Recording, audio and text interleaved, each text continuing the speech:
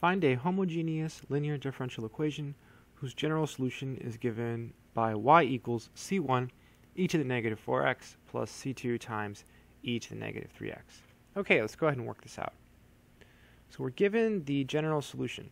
So recall that this has the form c1 e to the m1x plus c2 e to the m2x because we have distinct real roots.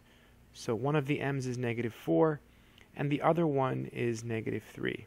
Okay, so m is equal to negative 4, and m is equal to negative 3.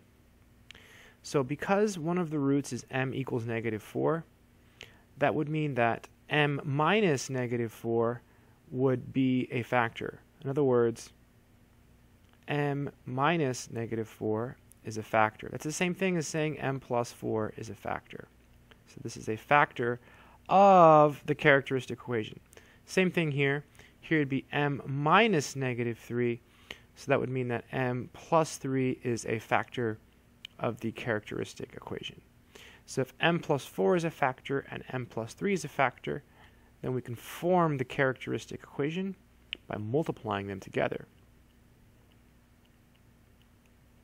You can multiply this out. m times m is m squared. And then the middle is 4m. The outside is 3m. So when you add them, you get 7m. And then 4 times 3 is 12. So this is the characteristic equation. And so now we can write down the differential equation. So the differential equation in this case, this is m squared. That's going to give us the second derivative. Remember, the power of m matches the order of the derivative. Plus 7.